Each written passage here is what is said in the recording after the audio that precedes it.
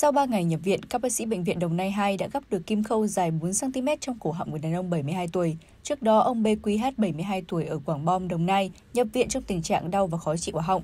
Sau khi thăm khám và thực hiện các kỹ thuật xét nghiệm, nội soi, các bác sĩ nhận thấy thành họng bên trái của bệnh nhân có khối u và chẩn đoán đây là ổ áp xe.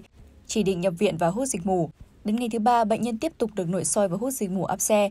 Phát hiện có dị vật kim loại ở rãnh lưỡi thành nhiệt, các bác sĩ đã dùng kìm gắp ra một cây kim may đồ dài gần 4 cm. Sau đó, bệnh nhân được chỉ định tiêm ngừa uốn ván và tiếp tục sử dụng kháng sinh để tránh bị nhiễm trùng. Hiện tại sức khỏe bệnh nhân đã ổn định, ăn uống bình thường và có thể xuất viện vài ngày tới. Bệnh nhân BQH cho hay trước khi bị đau họng ông có ăn tép khô nấu canh, chỉ nuốt chứ không nhai. Sau khi ăn xong thì thấy họng có gì đó vướng và thấy đau nhẹ. Ông tự đi mua thuốc kháng sinh, thuốc giảm đau để uống nhưng không bớt. Đến ngày thứ bảy thì tình trạng đau trầm trọng hơn nên ông quyết định tới bệnh viện để thăm khám. Bác sĩ chuyên khoa 2 Lê Nguyên Hòa, trưởng khoa liên chuyên khoa Bệnh viện Đồng Nai 2 khuyến cáo người dân khi ăn uống nên cẩn trọng, ăn chậm và nhai kỹ. Nếu chẳng may gặp tình trạng nuốt vướng hay thấy đau cần tới cơ sở y tế để được thăm khám kịp thời. Không nên tự ý dùng thuốc để chữa trị khi chưa có chỉ định của bác sĩ, đặc biệt là thuốc kháng sinh tránh tình trạng để bệnh kéo dài dẫn tới nhiễm trùng nặng, gây khó khăn trong quá trình điều trị.